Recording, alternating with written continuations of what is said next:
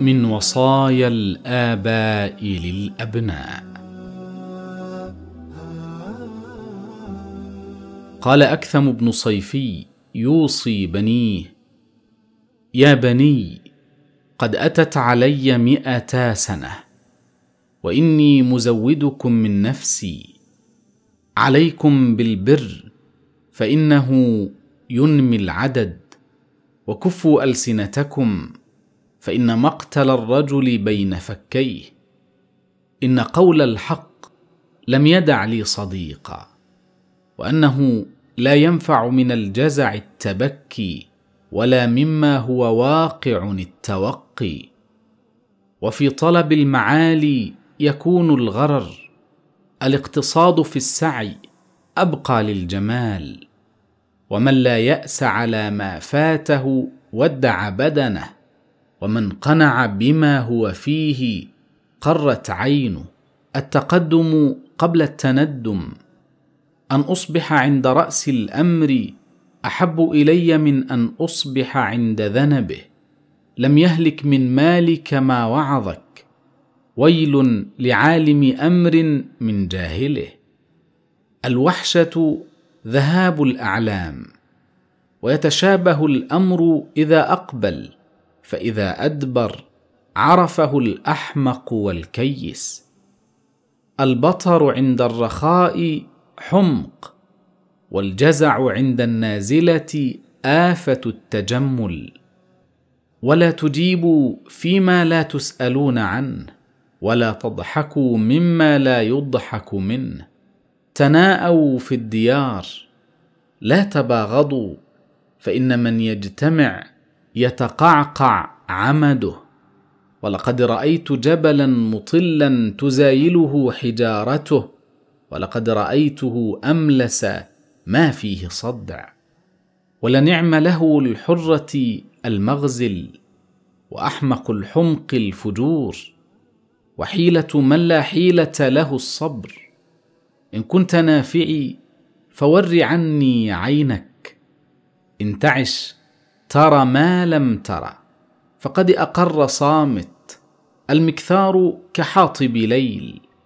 لا تبولوا على أكمة ولا تفشوا سرا إلى أمة. من لم يرج إلا ما هو مستوجب له كان قمنا أن يدرك حاجته. لا تمنعنكم مساوئ رجل من ذكر محاسنه. ومن وصايا لقمان الحكيم لابنه يا بني من يصحب صاحب السوء لا يسلم ومن يدخل مدخل السوء يتهم ومن لا يملك لسانه يندم. يا بني ازحم العلماء بركبتيك ولا تجادلهم فيمقتوك وخذ من الدنيا بلاغك وابق فضول كسبك لآخرتك. ولا ترفض الدنيا كل الرفض فتكون عيالا.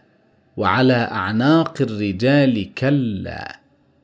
وصم صوما يكسر شهوتك. ولا تصم صوما يضر بصلاتك. فإن الصلاة أفضل من الصوم. وكن كالأب لليتيم. وكالزوج للأرملة. ولا تحاب القريب ولا تجالس السفيه ولا تخالط ذا الوجهين البتة. ومن وصاياه لا تركن إلى الدنيا ولا تشغل قلبك بها فإنك لم تخلق لها وما خلق الله خلقا أهون عليه منها فإنه لم يجعل نعيمها ثوابا للمطيعين. ولا بلاءها عقوبة للعاصين. يا بني لا تضيع مالك وتصلح مال غيرك فإن مالك ما قدمت ومال غيرك ما تركت. يا بني إنه من يرحم يرحم ومن يصمت يسلم ومن يقل الخير يغنم ومن يقل الباطل يأثم. ومن لا يملك لسانه يندم. زاحم العلماء بركبتيك وأنصت إليهم بأذنيك. فإن القلب يحيا بنور العلماء كما تحيا الأرض الميتة بمطر السماء. يا بني إن الناس قد تطاول عليهم ما يوعدون وهم إلى الآخرة سراعا يذهبون. وإنك قد استدبرت الدنيا منذ كنت واستقبلت الآخرة وإن دارا تسير إليها أقرب من دار تخرج منها. يا بني ليس غنى كصحة ولا نعيم كطيب نفس. يا بني لا تجالس الفجار ولا تماشهم. اتقي أن ينزل عليهم عذاب من السماء فيصيبك معهم. إياك وصاحب السوء فإنه كالسيف المسلول يعجب منظره ويقبح أثره ولا يهونن عليك من قبح منظره ورث لباسه. فإن الله تعالى إنما ينظر إلى القلوب ويجازي بالأعمال. وقال لابنه أو لمولاه إن طول الجلوس على الخلاء يرفع الحرارة إلى الرأس. ويورث الباسور ويتجمع له الكبد. فاجلس هوينا وقم هوينا. وقال لابنه يا بني إذا قعدت إلى ذي سلطان فليكن بينك وبينه مقعد رجل فلعله أن يأتيه من هو آثر عنده منك فيريد أن تنحى له عن مجلسك. فيكون ذلك نقصا عليك وشينا. ومن وصايا قس بن ساعدة يوصي ابنه قال لا تشاور مشغولا وإن كان حازما ولا جائعا وإن كان فهما ولا مذعورا وإن كان ناصحا ولا مهموما وإن كان عاقلا. فالهم يعقل العقل فلا يتولد منه رأي ولا تصدق به روية. وقال أوس بن حارثة يوصي ابنه مالكا يا مالك المنية ولا الدنيه والعتاب قبل العقاب والتجلد قبل التبلد واعلم أن القبر خير من الفقر.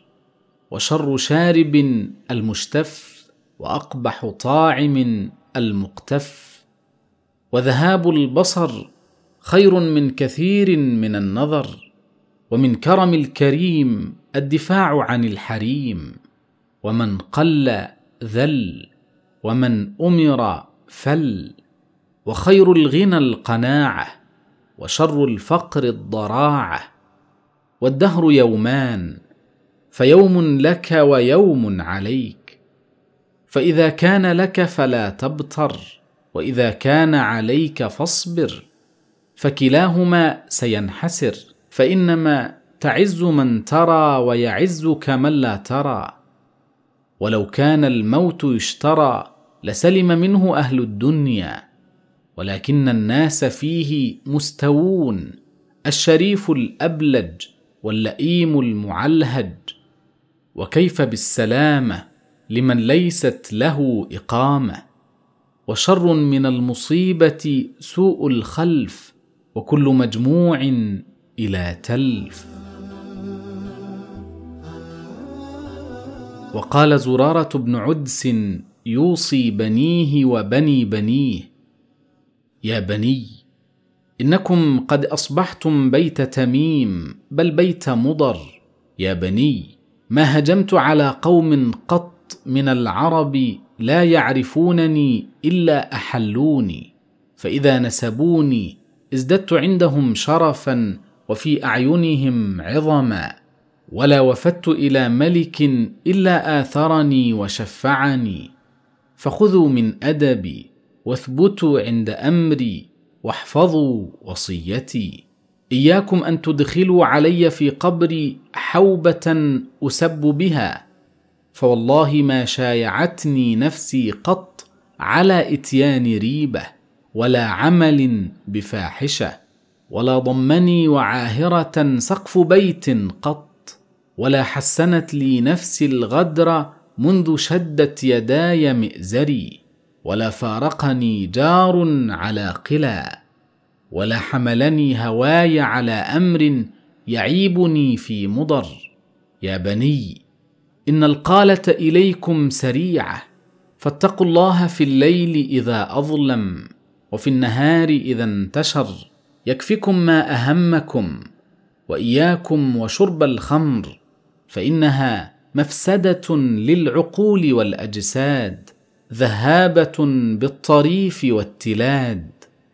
يا بني زوجوا النساء الأكفاء وإلا فانتظروا بهن القضاء. يا بني قد أدركت سفيان بن مجاشع بن دارم شيخا كبيرا محجوبا فأخبرني أنه قد حان خروج نبي بمكة من مضر يقال له أحمد عليه السلام. يدعو إلى عبادة الله فإن أدركتموه فاتبعوه. تزدادوا بذلك شرفا إلى شرفكم وعزا إلى عزكم.